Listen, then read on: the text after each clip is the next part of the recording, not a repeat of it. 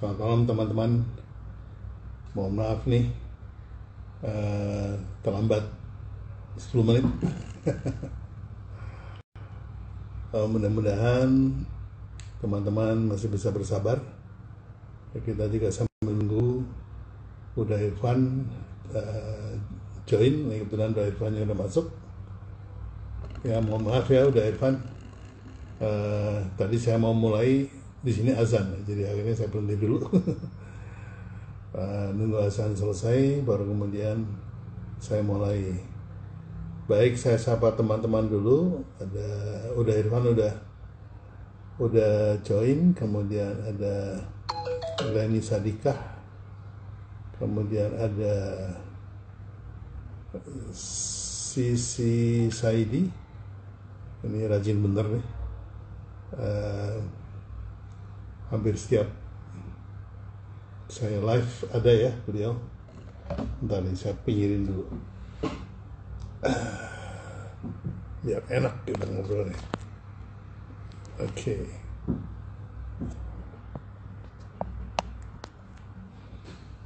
um, oke okay. saya jauhkan sedikit supaya nggak terlalu besar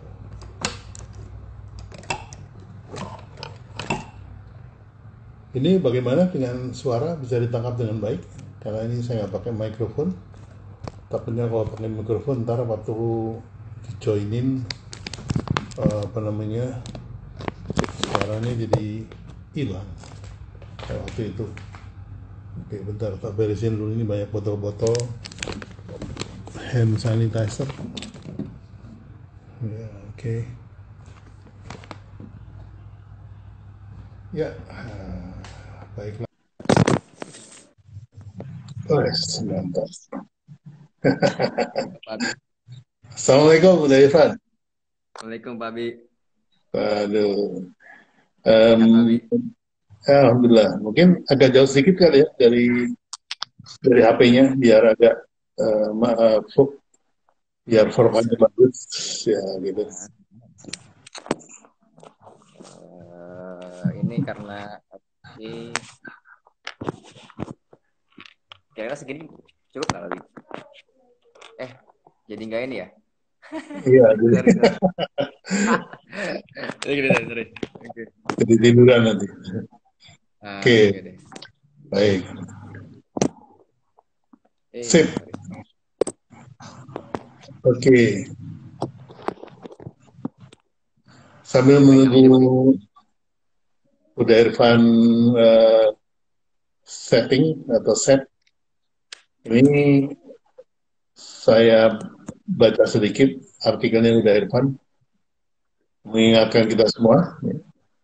sehat mental di musim pandemi COVID-19 saya tambahin. Dilarang gila dulu. Jangan gila dulu ya. Uh, musuh masih jauh, hidup masih lama. Oke, okay, uh, ya ini uh, cukup dramatis nih kan artikelnya. Nih. Chaos mencekam, serba tidak jelas. Itulah rasa yang menguasai alam pikiran kita semua. Nah, ini uh, pembukaannya seperti itu kan. Seperti itu dia, sudah Irfan ya. Pembukaannya di pasar diam di rumah. Di pasar diam di rumah. Tidak boleh keluar rumah. Kantor harus tutup. Usaha nggak boleh buka. Masa depan tidak menentu. Ya. Pengantar buat Uda Irfan nih. Tidak semua usaha bisa dijalankan dari rumah. You know? Tidak semua pekerjaan bisa dilakukan di rumah. Perlu mesin, perlu peralatan, ya Mungkin Anda orang kantoran yang dipaksa dirumahkan. Atau Anda orang jalanan yang mencari nafkah di sana. ya, um, Mungkin Anda punya tabungan buat makan di rumah sampai tiga bulan. Um, mungkin Anda kuliah harian yang mengais rezeki di jalanan. Kemudian mungkin Anda pengusaha yang khawatir dan cemas memikirkan bagaimana menggaji karyawan. Project diundur, invoice tidak dibayar. Pusing. untungnya tidak cuma Anda yang mengalaminya. Saya dan kita semua mengalaminya dan dalam kadar yang berbeda. Kadar kegilaan kita ini beda. Yuk, manfaatkan waktu yang berharga untuk bincang-bincang tentang hal ini agar supaya kita tidak ikutan menjadi gila. Begitu kata Uda Irfan. Nah, saya perkenalkan Uda Irfan ini adalah seorang psikolog. Jadi ahli kejiwaan. iya betul Abi. Dan berpengalaman belasan tahun menangani orang-orang setengah gila. Uh, Gak cuma orang loh, organisasi, kemudian perusahaan yang terguncang itu di di apa namanya di asuh oleh Uda Irfan. Dan beliau adalah seorang doktor untuk kebijakan publik.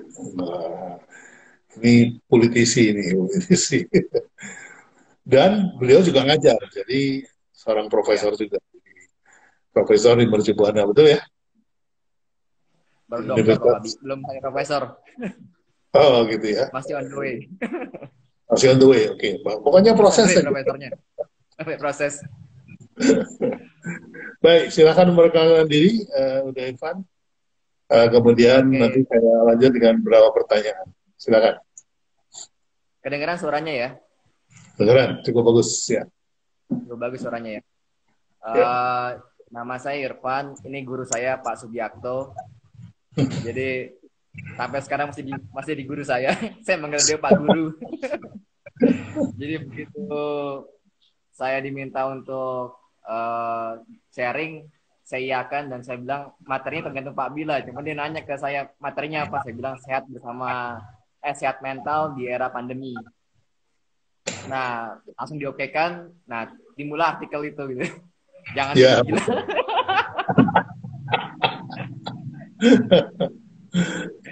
Jangan jadi kita di era pandemi gitu. Iya, betul. Menarik ya, uh, Pak Bi. Saya sendiri ngalamin di bisnis saya yang sifatnya consulting saja, bukan yang retail ketemu orang ya. Itu project mundur. Gitu.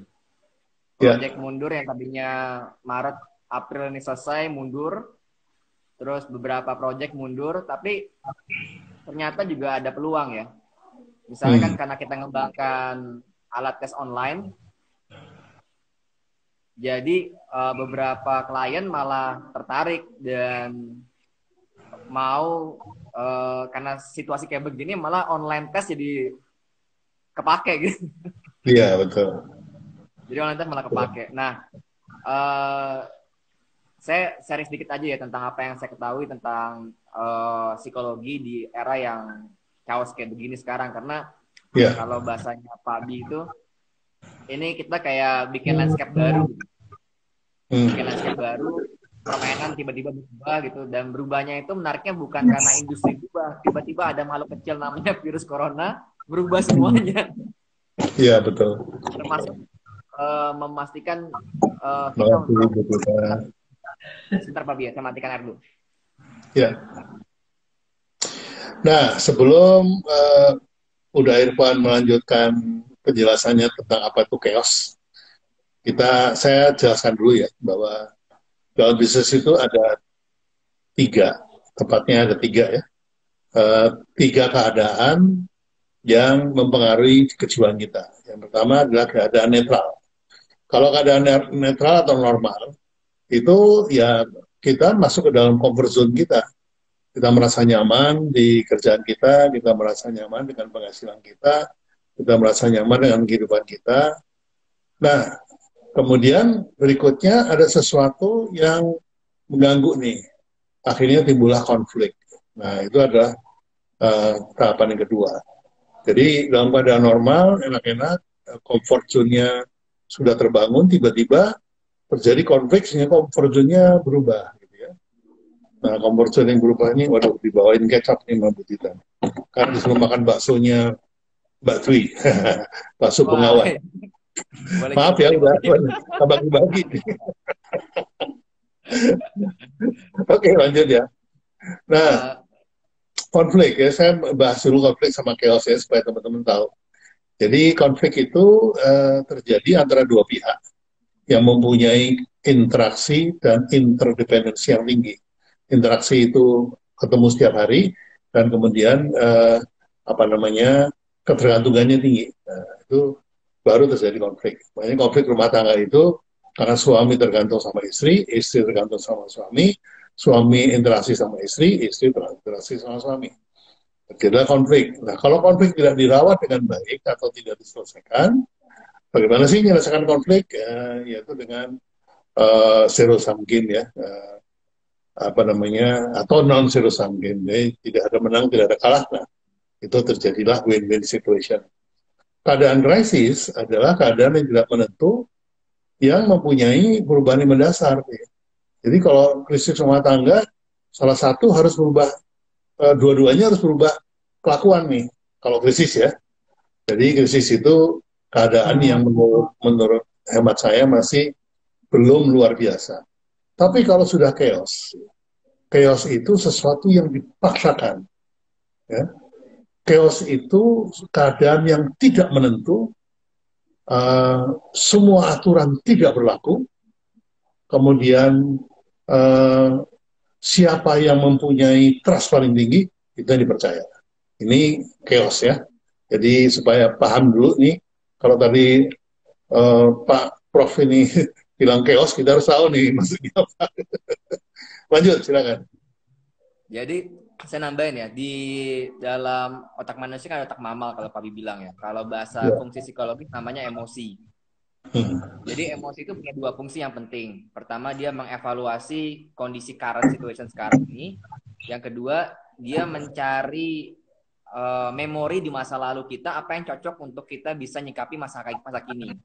Jadi dua dua fungsi itu. Pertama mengevaluasi current condition kondisi saat ini, yang kedua mengevaluasi solusi apa yang cocok dari memori masa lalu kita. Nah, emosi ini karena saking kuatnya, dia bisa mem membebas kognisi kita. Makanya kenapa misalnya orang tiba-tiba panik buying ya. Contoh misalnya uh, tiba-tiba beli hand sanitizer banyak. Padahal secara dokter yang paling bagus tuh ya cuci tangan, cuci tangan pakai oh pakai apa? Pakai sabun cair lah namanya itu paling bagus. Tapi kenapa tiba-tiba orang panik buying soal uh, hand sanitizer? Karena emosinya tiba-tiba tidak bisa lagi mengevaluasi karena situasi seperti apa gitu. Itu yang namanya chaos tadi kita pabi itu. Hmm. Nah itu emosi ini yang paling penting. Pertama karena dia bisa karena dia mengevaluasi kondisi hari ini, yang kedua dia mengevaluasi memori apa yang ada di kepala kita untuk bisa kita pakai menyelesaikan masalah hari ini. Nah, e, gimana caranya supaya kita mau sebagai pengusaha atau sebagai pribadi itu bukan emosi yang mengendalikan kita, tapi kita yang mengendalikan emosi. Karena emosi ini powernya kuat banget, sangat kuat powernya. Ya kalau bahasanya unconscious, dia, dia otak mamal dia akan bisa memutuskan sesuatu secara uh, otomatis, impulsif dan energinya besar. Contoh kalau memang kita bicara anjing, memang, oh itu pas Memang otak mamal itu kan uh, pekerjaannya, tugasnya membuat keputusan memangnya. Betul. Tapi nah, keputusan, ber, ya keputusan berbasis emosi, berbasis ya. memori, sama berbasis ya. habit. Nah itu tiga hal itu. Ini supaya teman-teman juga paham gitu ya. Uh, jadi kita bisa pahami kenapa orang tiba-tiba jadi parno, ada yang bersin sedikit. Oh ini jangan-jangan gue uh, terpapar deh. Ada yang demam sedikit, tiba-tiba jadi psikosomatis gitu. Itu normal banget, emosi banget gitu. Termasuk juga yeah. buat kita pelaku usaha gitu ya. Kita bingung nih gimana cara gaji karyawan ya kondisi kayak begini. Tiba-tiba nggak hmm. ada apa invoice tertunda. Saya punya invoice tertunda nih Pak Bi. Terus kemudian uh, project mundur, kemudian itu semua gimana ya? Nah, ya. yang pertama kita harus tahu cara kerja emosi. Emosi itu bekerja sesuai dengan proses ritualnya. Jadi hmm. kita harus kenali dulu, harus berteman dengan emosi kita. Uh, gimana cara berteman dengan emosi kita? Kalau kalau para psikolog bilang duduk, diam, tenang, berpikir, tarik nafas, atau menuliskan sesuatu yang perlu dilakukan supaya kita punya jarak dengan emosi kita. Jadi self self distancing kalau bahasa kita tuh. Kalau bahasanya para guru-guru agama ada jarak gitu supaya kita bisa eling. Hmm. Nah, uh, cara pertama itu bikin distance dulu. Ini emosi. Nah, kita bikin distance, bikin jarak gitu. Nah, sebenarnya work from home ini uh, salah satu hikmahnya tuh kita bisa bikin distance terhadap diri kita dan terhadap emosi yang muncul di dalam diri kita gitu. Karena kan biasanya kita uh, buru-buru ya, mau ngerjain ini, mau ngerjain itu, mau ngerjain ini, tiba-tiba semua dipaksa duduk diam. Nah, diam kamu. Nah, yeah. diam kamu itu itu bisa dua, bisa makin panik atau justru relax dan menikmati masa-masa ini. Ya, yeah, ya. Yeah. Nah. Justru dalam uh, kondisi chaos kayak ini, yang relax, mampu menikmati masa ini, dia akan jadi pemenang. Jadi menurut uh, Uda Ivan, sekarang ini kondisinya chaos ya?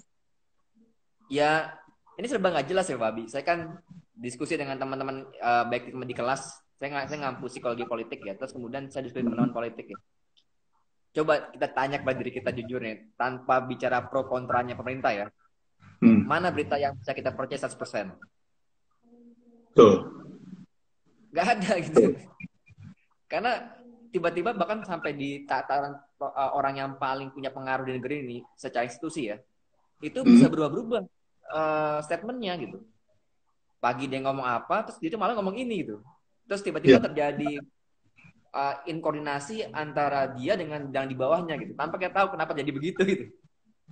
Saya waktu itu di, di, di WA itu Pak Menteri yang itu sakit beneran nggak sih Pak? Saya bilang setahu saya sakit cuma sakitnya apa saya nggak tahu gitu hmm. kok yang itu ini saya bilang oh iya iya saya ya, ya aja karena emang chaos kan yang kedua mati juga chaos ya tiba-tiba yang ada orang yang yang membuat kondisi chaos salah satunya yang membuat kondisi chaos itu karena para pejabat ini tidak satu suara katanya. Ya. Jadi ya. ada yang mengendaki lockdown, ada yang tidak mengendaki lockdown, ada yang lockdown daerah, nanti kewenangan pusat, ya. nanti ya. pusat mau bikin lockdown nggak punya payung hukumnya. Uh, saya nggak tahu kenapa kenapa para pejabat itu tidak membuat tenang ya tidak tenang sehingga dari keadaan yang turbulence ini bisa menjadi lebih stabil. Jadi kalau tadinya itu keadaannya, wah ini makanan datang terus nih gimana nih? Udah Irfan, oh, saya ya. stabil. ini bakso Bengawan ini dari anu dari um, Mbak Dwi itu oh, yeah? adanya di Depok. Nah, Anda mesti coba. Nah, ini bakwan buatan Bu Tita saya harus makan dan harus bilang enak.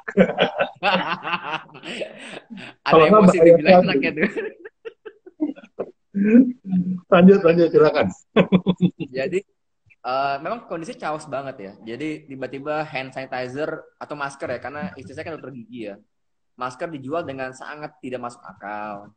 Yang tadi cuma dua ribu, naik tiga lipat. Terus tiba-tiba ketika ada, ada orang ngomong jeruk bagus, jeruk hilang ada yang ngomong hand sanitizer bagus, hand sanitizer hilang gitu kan chaotic gitu. Jadi kita jadi bingung sendiri ngapain gitu. Mungkin para pemimpin kita juga secara karena chaos gini uh, mereka juga bingung bagaimana menstabilkan negara ini ya. Walaupun secara undang-undang kalau pakai undang-undang kita punya undang-undang karantina sebenarnya untuk bikin lockdown segala macamnya. Cuman ini kan pasti ada resikonya ya. Nah, emosi itu itu pasti berhubungan dengan resiko, risk resiko. Dan yeah. emosi itu biasanya kan pasti artinya mengevaluasi resiko. Bisa contoh, kalau saya jadi uh, gubernur atau kepala, atau kepala negara atau presiden gitu, pasti kan saya ngambil A, itu pasti resikonya. Dan mau nggak mau karena kondisinya caotik, ada emosi saya yang bermain di situ, walaupun saya nggak bilang ya. Gitu, itu, itu konteksnya kepala negara. Saya sebagai, yang paling kecil ya, sebagai ibu rumah tangga atau sebagai bapak rumah tangga gitu. Tiba-tiba saya mau beli pisang, nggak ada pisang gitu hmm. beli jeruk kan jeruk saja juga saya gimana caranya nih atau tiba-tiba yeah. yang saya beli lari gitu tiba-tiba saya parnoan lari ke sini serem lari ke sini gitu. gitu. apalagi banyak berita yang nggak bikin nyaman ya misalnya tiba ada ada apa ada rencana mau membebaskan napi itu kan nggak bikin nyaman nah kata kuncinya sebenarnya kalau dalam caotek itu adalah orang yang duduk diam, tenang dan mengendalikan emosinya, dia akan jadi pemenang, siapa pun dia. mau dia pengusaha, mau dia politisi, mau, mau dia pemimpin negara, bahkan orang pribadi sekalipun, ketika dia bisa mengenali emosinya, menerima emosinya, dia akan pasti menang. Karena emosi itu nggak bisa dikontrol kayak kita, apa, kayak kita pegang setir. namanya juga, namanya juga alam bawah sadar ya.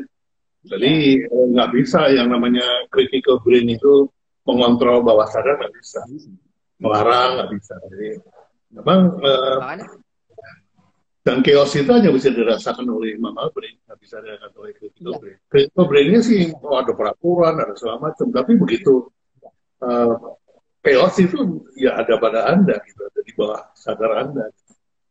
Nah, itu emang ada. Kondisi chaos itu seperti kata Pak Abi, jadi uh, yang bikin decision making itu emotion. Hmm. Uh, saya semua mengatakan bahwa yang bikin itu emotion kemarin saya baca riset riset tahun 2017 yang di sama Stevens ya. Stevens tuh cerita tentang bagaimana warga mau ikut memimpin. Kata kuncinya adalah mampu nggak pemimpin itu memberikan tanda Q Q, memberikan tanda Q yang membuat emosi para pengikut ini dalam konteks keluarga tenang. Sederhana yeah. itu aja. Dan eksperimennya tiga kali tuh, Pak Bi. Jadi dan kalau kita ngomong sama para psikolog gitu ya, orang datang ke psikolog, gitu, apa sih yang paling sulit buat para psikolog ketika klien datang? Bukan mencarikan solusi, bukan. Tapi membuat klien menerima bahwa dia bermasalah. Nah itu paling penting. Ya. Jadi dan uh, memberikan keterangan bahwa ya yang bermasalah cuma ada, kita hadapi sama-sama kan gitu. Iya, betul. Gak cuma Indonesia, ini seluruh dunia nih gitu. Sebenarnya nggak takut di situ sih kalau iya, menurut saya. itu. Uh, saya sepakat. Jadi kalau bahasa kami yang psikolog gampang itu ya menerima gitu. Dan menerima itu bukan kata pasif ya. Menerima itu kata aktif. Jadi orang yang bilang ayo kita masrahkan diri. Terus berpikir terus mama kita mengatakan oh masrah berarti diem aja dong. Enggak memasrahkan diri menerima itu adalah kata aktif membuat kita menerima realita yang paling pahit sekalipun sehingga kita bisa beratasi jadi menerima kenyataan yang paling pahit sekalipun sehingga kita bisa beradaptasi. Nah, satu cerita yang paling bagus kayak begini kan ceritanya Jenderal Stockdale tuh, Admiral Stockdale itu yang dia dikurung di Vietnam. Mm-hmm. Terus dia bisa survive di campnya Vietnam selama 8 tahun. Sementara yang lain mati segala macamnya. Terus ditanyakan diwawancarai. Kenapa uh, Jenderal Stockdale Anda bisa survive? Apa yang dilakukan? Dia bilang gini, saya itu menerima setiap pagi bangun untuk menerima realita paling buruk dalam hidup saya selama di camp. Lalu saya mencoba untuk menerima dan menghadapinya apa adanya. Setiap pagi. Gitu. Akibatnya apa? Akibatnya dia survive. Yang itu dibilang oleh Jim Collins dalam bukunya uh, Good to Great, paradox Stockdale. Jadi orang yang bisa nerima kondisi paling buruk biasanya adalah orang-orang yang paling survive